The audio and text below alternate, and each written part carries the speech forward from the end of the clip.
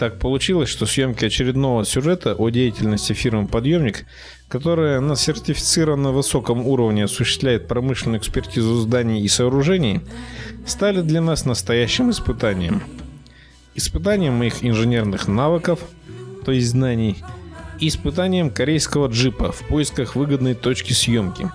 Потому как после последних командировок город свой я полюбил всем сердцем и всей душой – но если во втором случае реальную помощь в утверждении автовсепроходимости КРАЗа мне составили водители-профессионалы рудника ММК, то в первом случае максимально объективная и конкретная информация от династии строителей.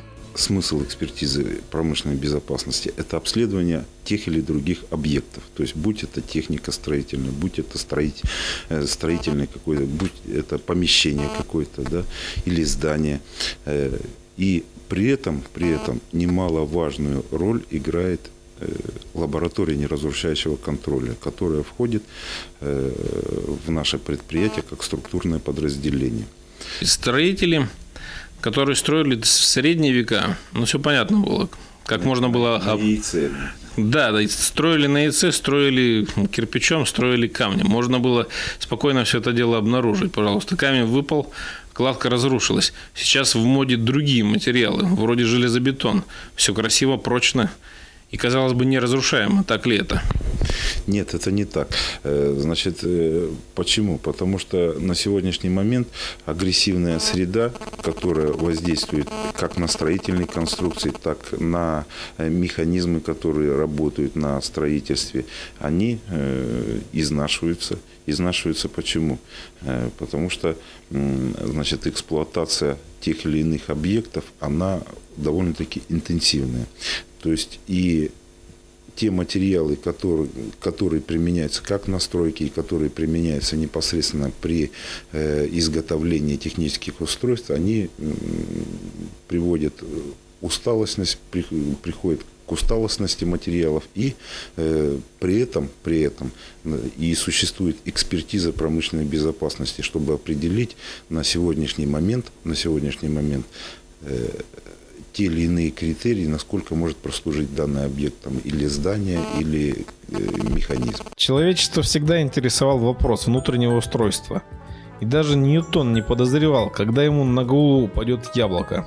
Но архитектор, строитель, корабел должен был знать, сколь гарантированно долго прослужит его здание, или его повесят, четвертуют или спалят. Изделий человеческих в тысячи раз стало больше, а ответственность конструкторы переложили на эксплуататоров. Но суть ответственности не менялась. И что уповать на Бога?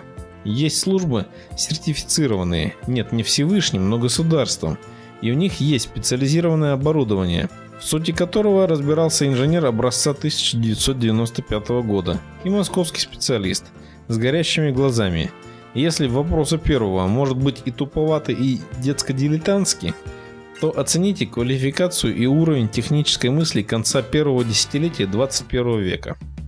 Честно говоря, для меня было странным увидеть вот это количество приборов. Но это еще не полный список, это самые необходимые для кранов. Вот, то есть, как бы в основном. Если тут у нас посмотреть, у меня список СОПов, э, и стандартных образцов очень много. То есть это вот по настройке именно ультразвукового оборудования.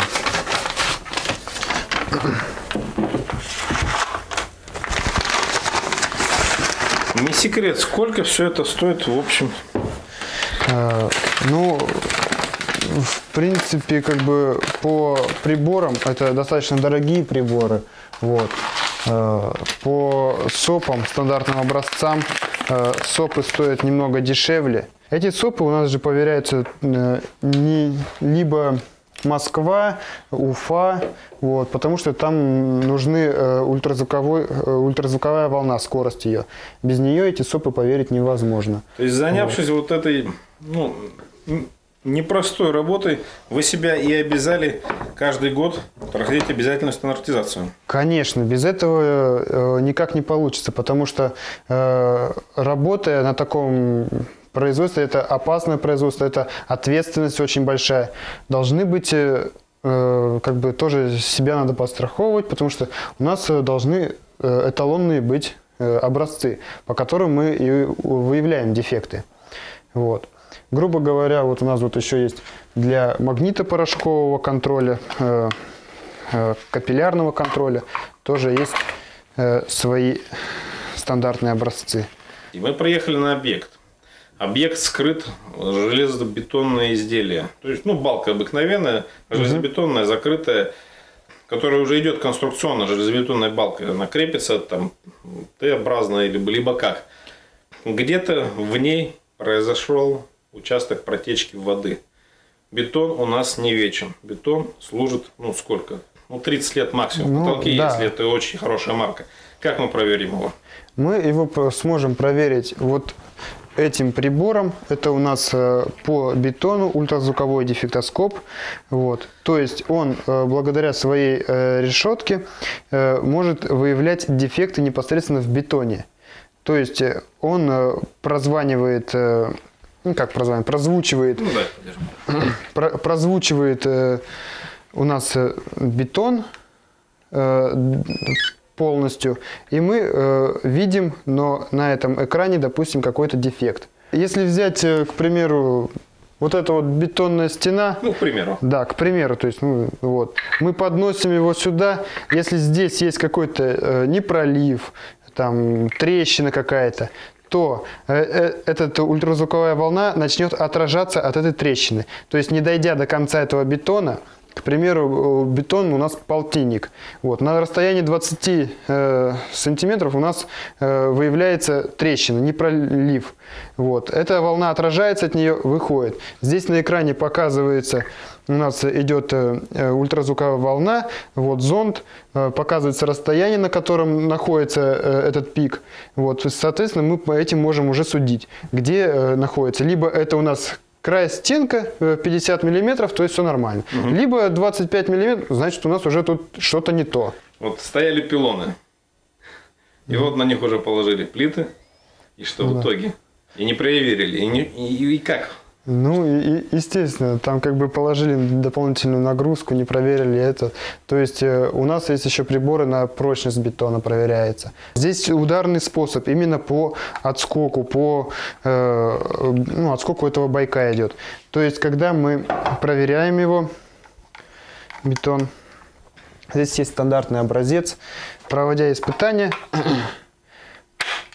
нам показывает э, прочность э, э, бетона, допустим, 33 мегапаскаль, то есть, э, соответственно, по этой э, настраиваемся, да, да, вот, и э, после как бы проведения э, этого измерения, тут делается 10 измерений, вот, э, мы можем судить о марке бетона, то есть ка- какая марка э, использовалась, там 300, 400, 500, в зависимости от этого, вот. Э, По, дальше по РД можно будет это все дело рассчитать, какая там прочность, вот, остаточность. В принципе, вместе вот с этим прибором, э, это у нас прочность, это у нас проверка э, трещин, непроливов. Можно достаточно э, компетентно судить о состоянии, к примеру, этой опоры. То есть мы можем говорить о том, что вот, ну, ребята новые, уже не новые русские, уже ну, достаточно старые русские. Новые русские Да. взяли все и порушили, и все продали. Пришло другое поколение русских, которые решили строить. И наконец-таки они пришли. Но пришли они подчас к разбитому корыту, и с корытом пытаются вот собрать вот что-то. То есть прежде чем что-то собрать, куда надо обратиться? Э, Я думаю, надо обратиться к нам, потому что мы можем посмотреть, что, в каком состоянии сейчас находится на данный момент это, к примеру, здание, сооружение. Вот. Э, Сделая экспертную оценку, лабораторные испытания, мы дадим заключение, где надо что-то исправить, добавить, э, разобрать, перебрать, поставить, построить заново. И, соответственно, уже человек может судить, стоит ли ему брать это здание, стоит ему снести это здание, или можно здесь отремонтировать. Вот, к примеру, вот э, найдя вот здесь дефект, небольшой дефект есть, хорошо его устранили, оно будет работать. Его не устранили, не нашли, оно обрушится. То есть вот мы, допустим, смотря на карту города, видя, да много таких объектов было, понастроили все время и цеха, там и крекерные вроде собирались, еще что-то делать. И новые технологии типа существуют. И человек захотел вложиться, кредиты сейчас есть, вроде получилось, и вроде где-то что-то не получается. Вроде фундамент прошел просадку.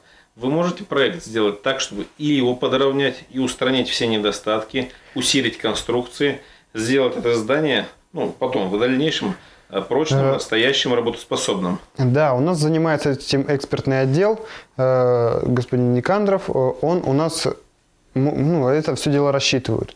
То есть, э, как бы лабораторные испытания, после лабораторных испытаний все данные приходят к ним, и они уже начинают рассчитывать, э, делать какие-то программы, там, проекты по ремонту, э, и уже, соответственно, занимаются либо наши же организации по ремонту, либо э, там другие подрядные организации, которые по этим ведомостям дефектов э, делают ремонт. Потом, опять же, мы можем это дело проконтролировать, качество этого выполненного ремонта, и дать уже заключение на хорошую готовую конструкцию. Конечно, все это нет необходимости приобретать каждому изобретателю. Да и время громоздких институтов ушло вспять.